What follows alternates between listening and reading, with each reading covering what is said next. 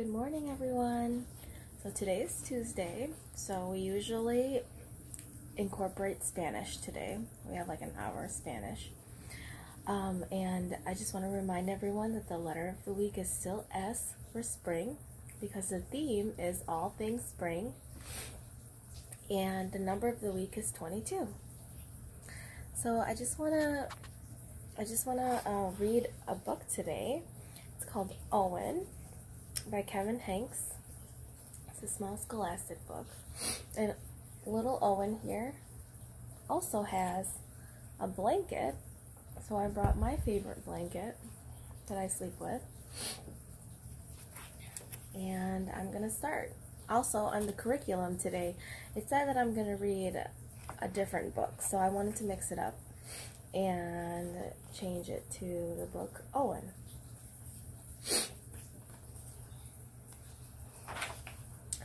Owen had a fuzzy yellow blanket. He had it since he was a baby. He loved it with all his heart.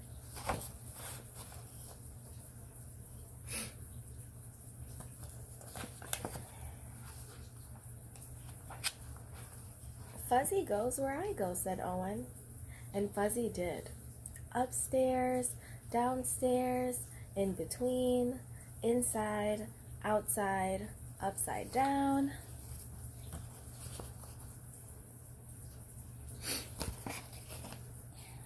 Fuzzy likes what I did, said Owen, and Fuzzy did.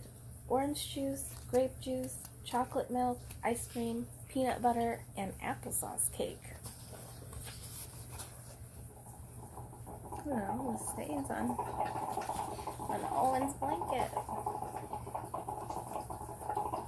Isn't he getting a little old to be carrying that thing around? asked Mrs. Tweezers. Haven't you heard of the blanket fairy? Owen's parents hadn't. Mrs. Tweezers filled them in. That night, Owen's parents told Owen to put Fuzzy under his pillow.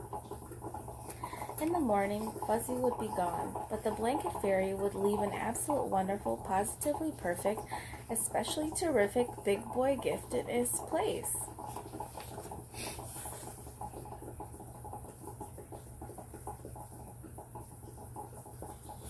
There's his parents talking to him.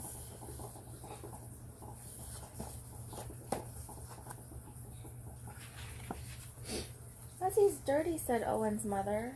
Fuzzy's torn and ratty, said Owen's father. No, said Owen. Fuzzy is perfect, and Fuzzy was. Fuzzy played Captain Plunger with Owen. Fuzzy helped Owen become invisible.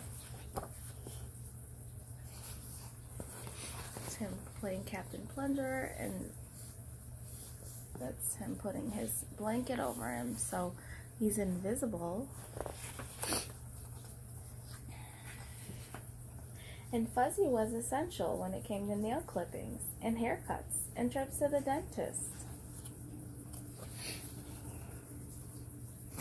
Nail clippings, or haircuts, nail clippings, and the dentist. Can't be a baby forever, said Mrs. Tweezers. Haven't you heard of the vinegar trick? Owen's parents hadn't. Mrs. Tweezers filled them in. That's Mrs. Tweezers telling the parents. when Owen wasn't looking, his father dipped Owen's favorite corner of Fuzzy in, into a jar of vinegar. Owen sniffed it and smelled it and sniffed it, and he picked a new favorite corner.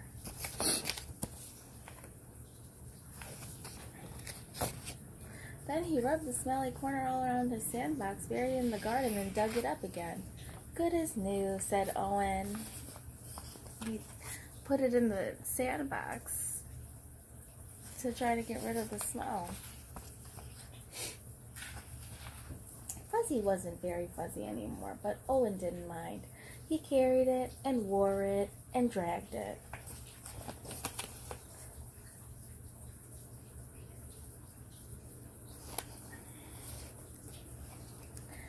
He sucked it and hugged it and twisted it.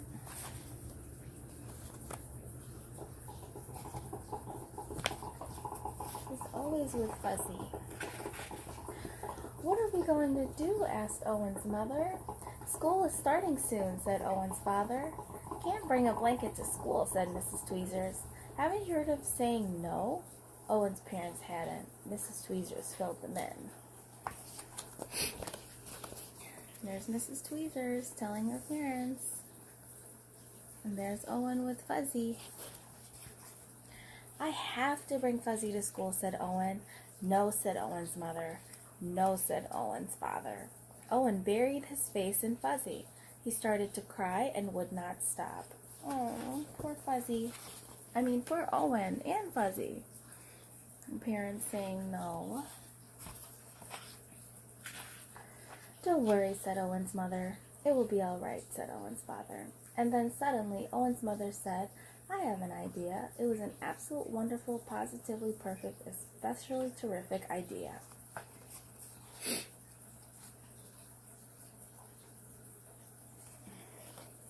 First she snipped, then she sewed, then she snipped and sewed some more.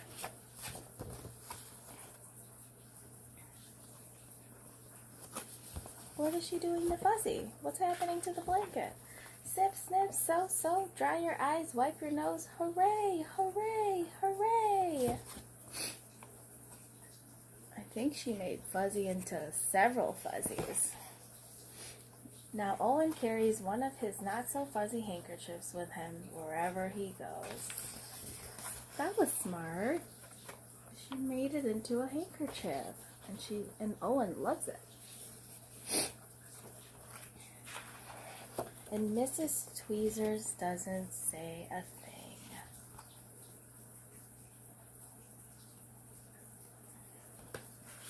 Okay, bueno.